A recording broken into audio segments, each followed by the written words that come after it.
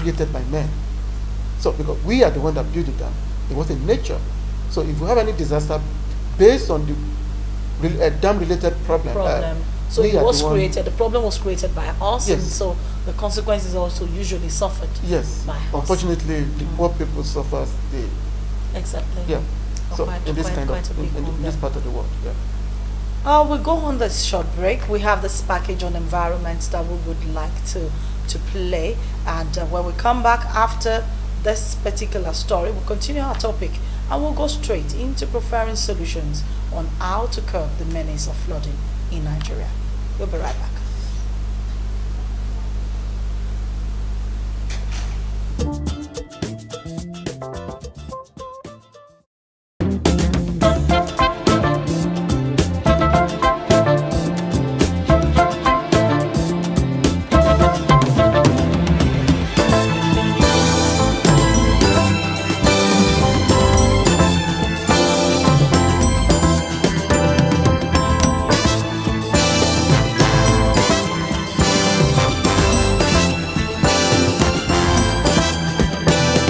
According to the World Bank, Nigeria ranks among the top 10 most climate vulnerable countries in the world, with Lagos also ranking the 10th most vulnerable city in the world since 2014.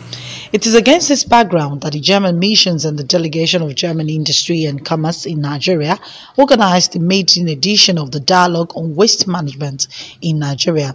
The chief host of the event and German Deputy Consul General Nigerian Office, Alexander Ayer, explained the need to diversify from commerce into other related sectors as they are all interwoven.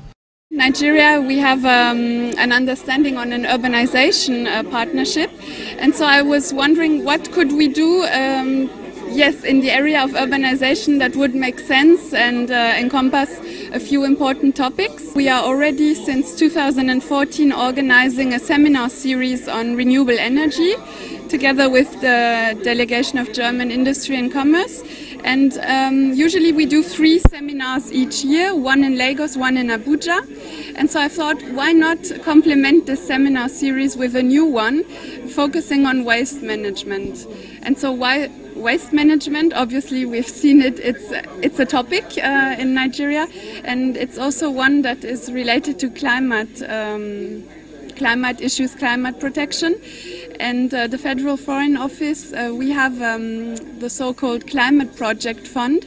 And so we were able to secure funds from this, uh, from this fund in order to carry out uh, this very seminar today.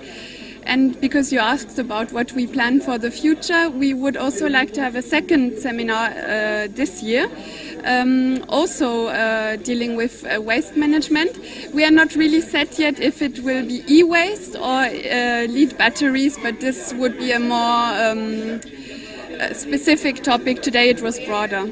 We already work uh, quite some time now uh, in the area of um, academic exchange and uh, we really uh, focus on allowing students to, to go to Germany to, to study uh, with our uh, visa section. We have lectorates. Uh, we, we have one, for example, now at the Ibadan University, and uh, there it's um, the focus is on yeah um, getting people to to uh, learn German.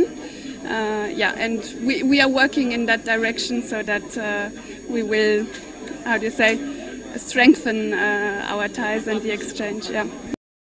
Speaking on climate change and waste management in Nigeria, Mrs. Maria Yetano Roche from the Wuppertal Institute raised concerns about the system of waste incineration in Nigeria, which not only affects the environment but contaminates the air we breathe and is a major cause of most health challenges. About uh, sorting at source and behavior, um, I think it cuts across the board, and I'm sorry I could not cover, but awareness raising has to really uh, supplement any kind of policy intervention in waste. And of course, it will not just happen because of awareness, there has to be incentives. So, um, I mean, uh, it's not just about you getting an economic incentive from, um, from, from sorting out your waste, but simple things like that your sorting facility where you, that your bins to, to put your sorted waste are close to your house that they're collected door to door. Those are incentives for the, for the for the citizen. And, um, and of course, uh, for sorting out waste, it's very important that